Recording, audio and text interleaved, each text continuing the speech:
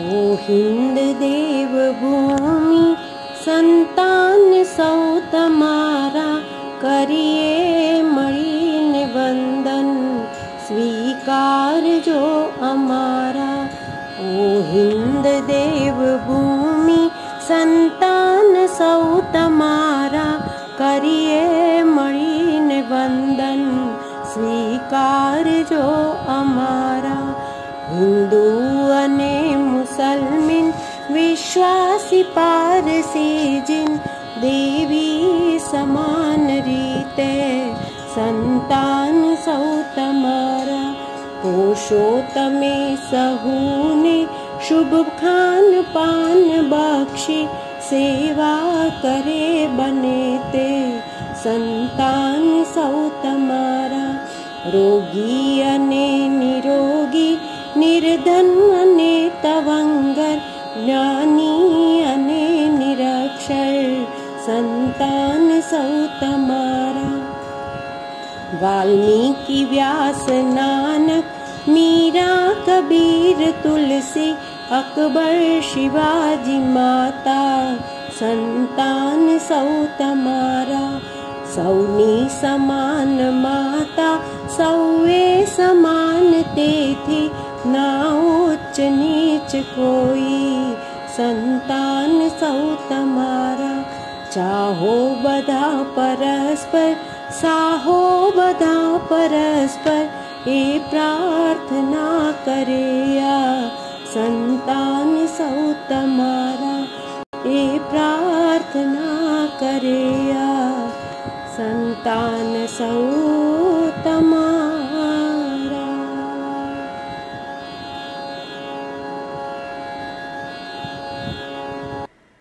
મિત્રો બહુ જ સુંદર વાતાવરણમાં આપણને હમણાં અમિતાબેનના સુંદર કંઠે એક બહુ જ સુંદર રાષ્ટ્રીય કવિતાનું ગાન સાંભળવા મળ્યું. રાષ્ટ્રભક્તિ આપણા લોહીમાં વણાયેલી હોય અને કવિ એ તો એના સમાજનો અને સમયનો સ્વયં સિદ્ધ પ્રતિનિધિ હોય છે. ત્યારે એવા એક કવિની રચના સમુદાય શિક્ષણ સંઘના આ એક બહુ જ રૂપકડા કાર્યક્રમમાં આપણી કવિતા આપણા માટે બિલકુલ જનસાધારણ સુધી પહોંચાડવાની નેમ સાથે શરૂ થયેલા કાર્યક્રમમાં ઉપસ્થિત રહેતા મને ઘણો આનંદ થાય છે. સુયોગ એ છે કે આજે જે કવિતા આપણે રજૂ કરી એ મારા બહુ જ પ્રિય કવિ છે અને મારા જ નહીં, પરંતુ ગુજરાતી સાહિત્યના એ શિરોમણી કવિ છે. ગુજરાતી સાહિત્યના પ્રથમ પંક્તિના પાંચ કવિઓના નામ લેવાના હોય, તો એની અંદર મણિશંકર રત્નજી ભટ્ટ ઉર્ફે કાંત કાંત એમનું ઉપનામ હતું. એમનું નામ અવશ્ય લેવું પડે. એવા એક ઉત્તમ કવિ કે જે સૌરાષ્ટ્રના ચાવંડમાં જન્મ્યા હતા. નજીકમાં જ લાઠી, જે કલાપીનું ગામ. અને એમ કહી શકાય કે કલાપીના સમોવડિયા હોવા છતાં એ કલાપીના લગભગ શિક્ષક જેવા હતા. તો આવા એક કવિ કે જેમણે આપણા ગુજરાતી સાહિત્યને એમની કવિતાથી એટલી ઊંચાઈએ પહોંચાડ્યું એ પંડિત યુગ અને ગાંધી યુગના બિલકુલ સેતુ સમાન કવિ કે એ વખતે આપણી ભાષાની કવિતા જેમાં ખંડકાવ્ય જેવી વસ્તુ નહોતી એ પણ એ લઈ આવ્યા. અતિ જ્ઞાન, એના જેવા બીજા ખંડકાવ્યો વસંત વિજય, ચક્રવાક મિથુન, આવા ખંડકાવ્યો ઉપરાંત સાગર અને શશી જેવું એક બહુ જ ઉત્તમ કાવ્ય એમણે આપ્યું. જો કમનસીબી જુઓ આ કવિ કાંતની કે જીવ્યા ત્યાં સુધી પૂરા સંઘર્ષમાં જીવ્યા જીવ્યા ત્યાં એમની પ્રતિષ્ઠા તો એમની હયાતીમાં થઈ જ ગઈ એ સમયના એમના જે સમકાલીન વિદ્વાનો હતા સાક્ષરો હતા એ કબૂલ કરતા હતા કે એમના સમયના શ્રેષ્ઠ કવિ એ આ મણિશંકર રત્નજી ભટ્ટ છે નરસિંહરાવ દિવેટિયા જેવાને કહેવું પડ્યું કે મેં આ મણિભાઈના કરતાં દસમા ભાગનું પણ વાંચ્યું નથી. એટલે એટલું બધું તો એમનું વાંચન હતું. એટલી બધી ભાષાઓ જાણતા હતા. એવડા મોટા વિદ્વાન હતા. પરંતુ સાથે સાથે એમનું જીવન અનેક સંઘર્ષોથી ભરેલું હતું. એ સંઘર્ષોમાં સૌથી મોટો સંઘર્ષ તો એમના વિચારોને કારણે હતો. એ સતત ચિંતન કર્યા કરતા. શું સારું, શું ખોટું, ક્યાંથી શું લેવું? એક તબક્કો એવો પણ આવ્યો કે એમણે ધર્મ પરિવર્તન કરી નાખ્યું અને એનાથી એમનો સામાજિક બહિષ્કાર થયો. ખુદ એમના પરિવારે એમને બહિષ્કૃત કરી દીધા. એમના દીકરાએ કહી દીધું ત્યાં સુધી કે, પપ્પા, પિતાજી તમારા કરતાં તો હું બલ્લુ કાકાનો દીકરો હોત તો ઘણું સારું હતું. મને ગૌરવ થાત. બલ્લુ કાકા એટલે બળવંતરાય ઠાકોર. આ બધા જ એમના સમકાલીનો કવિકાંતથી પ્રભાવિત હતા અને કવિકાંત એ સંઘર્ષોની વચ્ચે જીવ્યા. મૃત્યુના દિવસે એમનો કાવ્ય સંગ્રહ પ્રગટ થયો. જો એક કવિના જીવનની કેવી કરુણતા. એમના વિશે આપણા એક સતીશભાઈ નામના નાટ્યકાર છે, સતીશ વ્યાસ. અને જળને પડદે નામનું એક સરસ નાટક પણ લખ્યું છે. કાંતનું જીવનચરિત્ર પણ લખાયું છે. પ્રફુલ્લ રાવલે લખ્યું છે. આ બધું શક્ય હોય તો આપણે એમને અંજલિ તરીકે આ જોઈ જવું જોઈએ, વાંચી જવું જોઈએ. તો મિત્રો આજે એમની એક રાષ્ટ્રીય કવિતા મારે તમને સંભળાવી હતી, જે અમિતાબેનના કંઠે તો તમે સાંભળી. આપણી જન્મભૂમિ, આપણી માતૃભૂમિ, આપણો દેશ, એનાથી વધુ તો બીજું શું હોઈ શકે? માં, માટી ઓર માનુષ, આ ત્રણ એનાથી ઉપર કોઈ નથી. ભગવાન રામચંદ્રે જ્યારે લંકાનો વિજય કર્યો ત્યારે લક્ષ્મણ તો અભિભૂત થઈ ગયો કે આપણે તો ભગવાન સોનાની લંકા જીત્યા. હવે આપણે અયોધ્યામાં જવાની ક્યાં જરૂર છે? પરંતુ ભગવાન રામે એ વખતે કહ્યું, અપી સ્વર્ણમયી લંકા, લક્ષ્મણ મેં ન રોચતે. આ સુવર્ણમયી હોય લંકા સોનાની હોય, પરંતુ મને એ નહીં ગમે. જનની જન્મભૂમિશ્ચ સ્વર્ગાદપી ગરીયસી. મા અને માતૃભૂમિ એ તો સ્વર્ગથી પણ ઊંચેરા છે. ત્યારે એ માતૃભૂમિને, એ દેવભૂમિને આપણો આ કવિ કેવી બહેલાવે છે, એની કેવી પ્રાર્થના કરે છે, એને કેવું વંદન કરે છે, એનું આ કાવ્ય છે. આપણા રાષ્ટ્રગાન તરીકે સ્વીકારાયેલું વંદે માતરમ એ પણ બંકિમચંદ્રએ આનંદમઠ નામની નવલકથામાં એ મૂક્યું છે. સાધુઓના કંઠે મૂક્યું છે. અને એ દુનિયાભરમાં જાણીતું થયું છે. પરંતુ એ વંદે માતરમની કક્ષાનું જ એક કાવ્ય કહી શકીએ. અને એટલું સરસ કાવ્ય કે જે વાંચીને આપણે અભિભૂત થઈ જઈએ, તે આપણી ભાષામાં પણ લખાયું છે અને તે આપણા કવિ કાંતે લખ્યું છે. એની શરૂઆત એ કેવી કરે છે, જુઓ.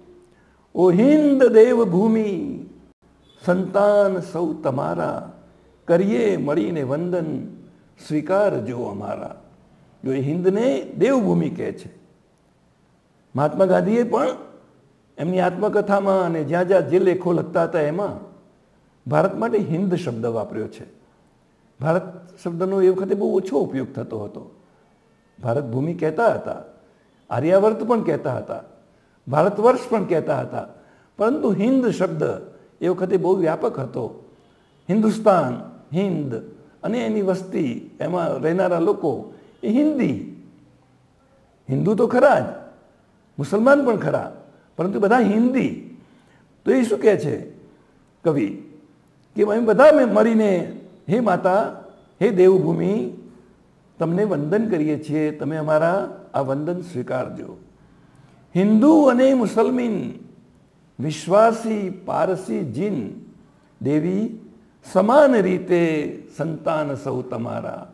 તો જુઓ, આ ભારત વર્ષ, આ હિન્દુસ્તાન, જેને આપણે મધર ઇન્ડિયા કહેતા રહ્યા, અંગ્રેજોએ જે આપણને એ શબ્દ આપ્યો, તો એ મધર ઇન્ડિયા, એ દેવભૂમિ, તો એની અંદર તો અનેક ધર્મો અનેક સંપ્રદાયો, અનેક માન્યતાઓ, અનેક પ્રદેશના લોકો આવીને વસ્યા અને બધા એકમેકમાં ભળી ગયા. તો એ ગંગાજમની સંસ્કૃતિ જેને આપણે કહીએ છીએ તે, એની વાત અહીંયા આગળ કવિ સીધી જ આ બીજી લીટીમાં કહે છે કે હિન્દુ અને મુસલમેન, વિશ્વાસી પારસી જીન, કેટલા લોકો બધા અહીં છે? હિન્દુ તો છે જ, સાથે મુસલમાનો પણ છે. વિશ્વાસી એટલે કે ખ્રિસ્તીઓ પણ છે, પારસીઓ આવ્યા છે અને દૂધમાં સાકરની જેમ ભરી ગયા છે. વળી અહીં સનાતનીઓથી જુદા પડેલા એવા જૈન ધર્મીઓ પણ છે, બૌદ્ધો પણ છે. તો એ દેવી દેવી સમાન રીતે સંતાન સૌ તમારા. આ તમારી કુખે જન્મેલા છીએ અમે બધા. તમારા અમિયલ દૂધ પીને મોટા થયા છીએ. એટલે હે દેવી, અમે તો બધા તમારા સમાન સંતાનો છીએ. કોઈ ઊંચું નથી, કોઈ નીચું નથી, કોઈ વાલું નથી કે કોઈ તમને દવલું નથી.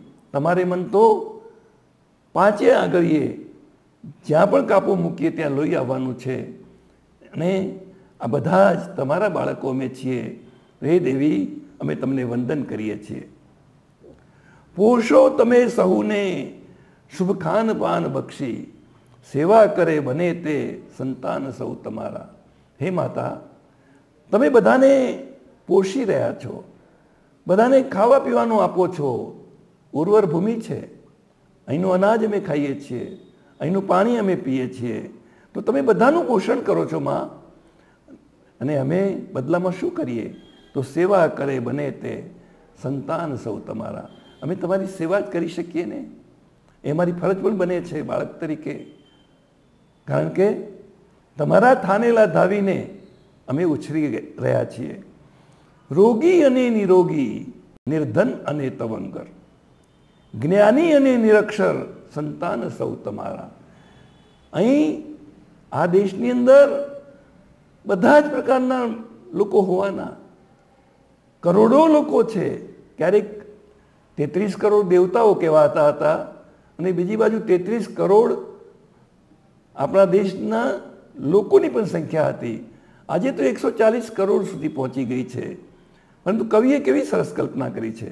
એમાં કોઈ રોગી પણ હોય, કોઈ નિરોગી હોય, કોઈ સુંદર પણ હોય, કોઈ અસુંદર પણ હોય કદરૂપું પણ હોય, કોઈની પાસે બહુ પૈસા હોય, ખૂબ તવંગર હોય, કિસ્મતે એને ખૂબ આપ્યું હોય, એના અને કોઈ નિર્ધન પણ હોય. તો આ રોગી અને નિરોગી, નિર્ધન અને તવંગર, જ્ઞાની અને નિરક્ષર, કોઈ બહુ જ્ઞાની હોય અને કોઈ સાવ અભણ હોય, એવું પણ બને.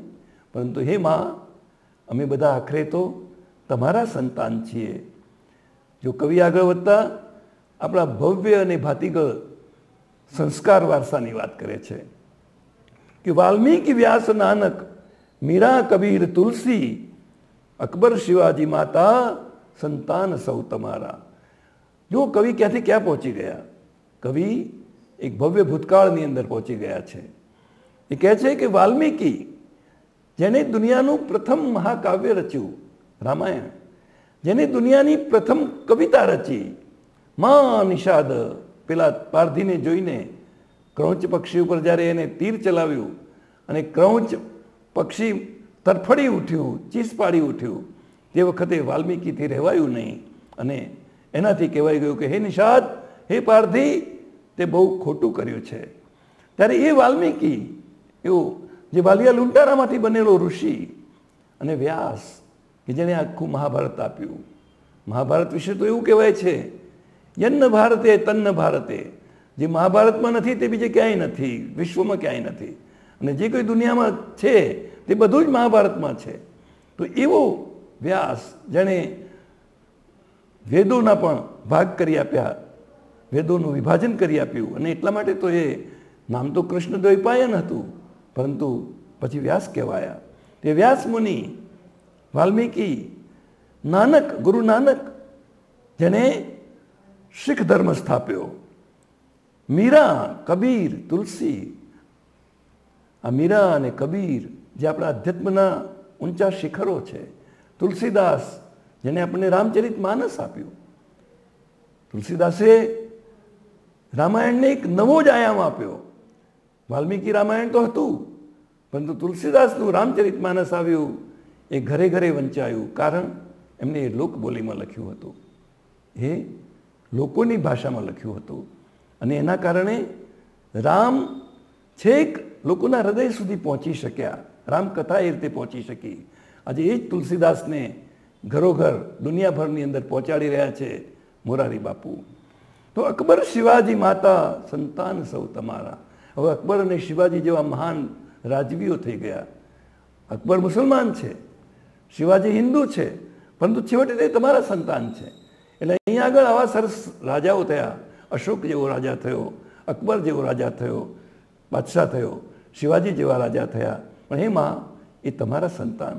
અને સૌની સમાન માતા, સૌએ સમાન તેથી, ના ઉચ્ચ નીચ કોઈ સંતાન સૌ તમારા. હે માં તમારા માટે તો કોઈ ઊંચું નથી, કોઈ નીચું નથી, કોઈ હિન્દુ નથી, કોઈ મુસલમાન નથી. તમારા માટે તે તમારું બાળક છે. તો આ તો તો બધાની સમાન માતા છે. અને છેલ્લે કવિ કેવી અપેક્ષા રાખે છે? ચાહો બધા પરસ્પર.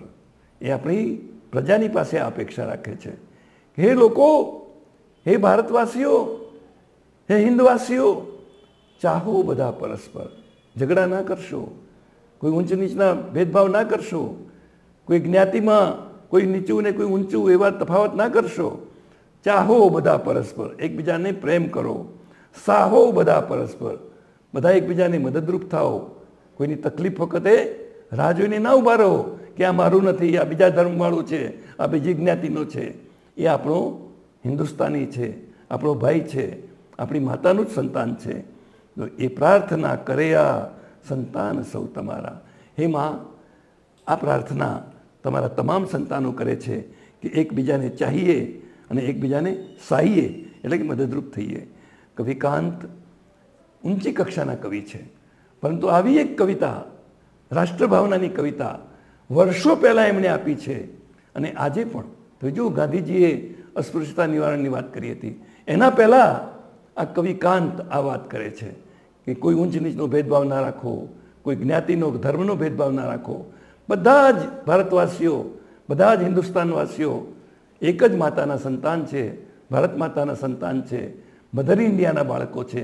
એ રીતે આપણે રહીએ, એકબીજાને મદદરૂપ થઈએ અને માતાનું ગૌરવ વધારીએ, માતાને વંદન કરીએ. બહુ જ ઉત્તમ કાવ્ય અને રાષ્ટ્રભાવનાથી ભર્યું ભર્યું, છલો છલ ભરેલું એવું આ કાવ્ય રજૂ કરવાનો જે મોકો મળ્યો, એ બદલ હું આ સંસ્થાનો આભારી છું. જય હિન્દ.